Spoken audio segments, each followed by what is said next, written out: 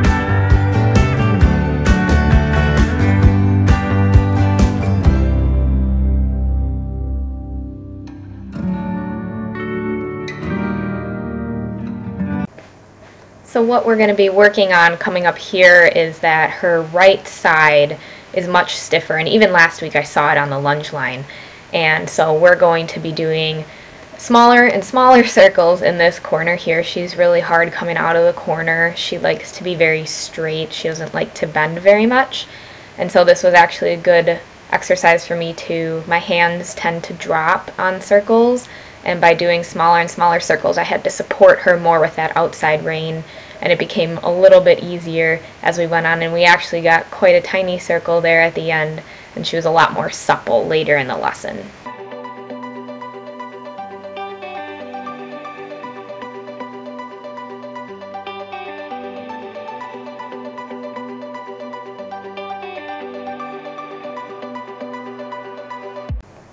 I just want to give a little forewarning. So to start off our jumping lesson, we did some poles practice. It was a four stride line.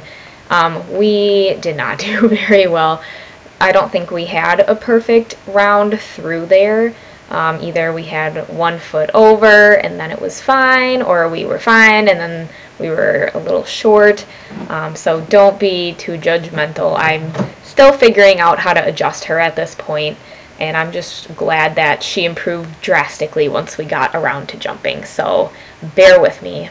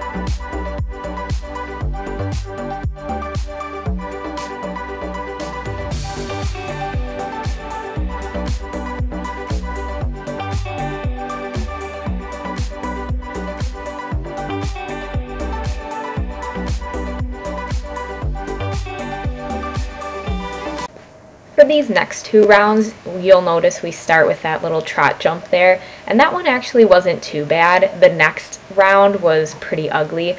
Mia also does not enjoy trot jumps, so we made sure that we did a decent handful of them today.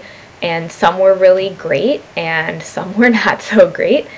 Um, I think this one coming up here is probably the ugliest of all of them.